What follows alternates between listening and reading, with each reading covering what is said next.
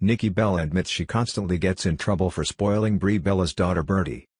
Brie Bella and husband Daniel Bryan welcomed daughter Birdie in May 2017, and Aunt Nikki Bella can help but spoil her twin sister's baby girl every chance she gets, though that hasn't exactly gone over well with Brie. She doesn't know what no means, Brie told People of her sister on Saturday at the 2018 iHeartRadio Music Festival in Las Vegas. Like when she's throwing a little tantrum or something. Nicole has these big open arms and wants to smother her, she explained. I'm like, no, you gotta ignore her. Don't look at her. The 34-year-old jokingly added that she gets mad at her sister for spoiling Birdie all the time. For her part, Nikki didn't deny the claim. I can't help it, she said Birdie owns me. Brie added that things are also a bit different with Birdie's television routine when she's with her aunt instead of her parents.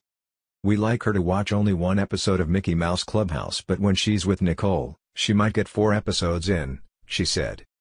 Now that Birdie is getting older, she's able to fully focus when her mom and dad are in the WWE ring, with both Brie and Bryan having recently returned to wrestling in the organization after absences.